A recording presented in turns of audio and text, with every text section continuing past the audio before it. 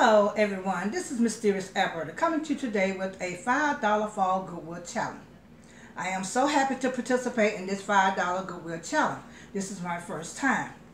So this year, 2018, I will be per, per, I will be participating in the $5 Goodwill Challenge with Hillary at Old World Home. Hillary asked us to go to the thrift store, yard sale, Goodwill, uh, anywhere that you can get something for $5 or less. I went to my local Goodwill store and I purchased two items from the Goodwill. And those two items that I purchased from the Goodwill was a little small vase and also a small um, sign. The sign that I purchased here, it says, apples and spice make everything nice. This is the sign that I purchased and it was $2.12. The vase that I purchased, it was a dollar and 91 cent. So these two things came for less than five dollars.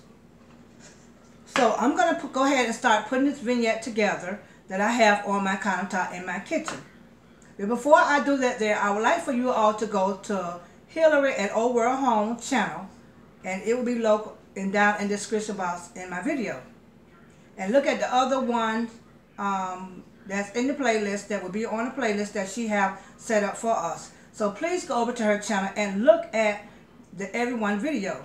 I'm pretty sure you guys will have fun looking at those videos because I'm pretty sure that it will be a very nice challenge that we're participating in for the fall. So guys, come along with me and let me show you what I have to put together today in this fall vignette that I am so happy to participate in. So we're going to start here with this vase that I have here. I picked up some picks from the Dollar Tree right here that I have. I'm going to make a little flower arrangement here with this vase.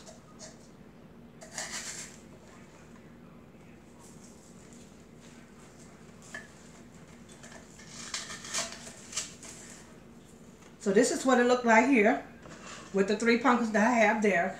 Also, the sign that I'm going to put on this little stand that I have here in my kitchen. Apple and spice make everything nice. So for the fall, this is what I have for on top of my kitchen countertop. And it's, it's a nice um, addition to my kitchen and it looks very nice here in my kitchen. So guys, I'm going to bring it a little closer where you can see it very well. So this is what it looked like. If you guys like this um, little vignette that I have here on my countertop, could you please go to my channel and subscribe with Mysterious Alberta channel. And please give me a thumbs up. And also, please participate and look at the other ladies' little fall vignettes or whatever they decide to do for the fall, this 2018 challenge. So this will be in this video, and I promise see you guys in the next video coming up soon. So you guys have a blessed day, and I'll see you soon. Have a blessed day. Thank you so much for watching. Bye-bye, family.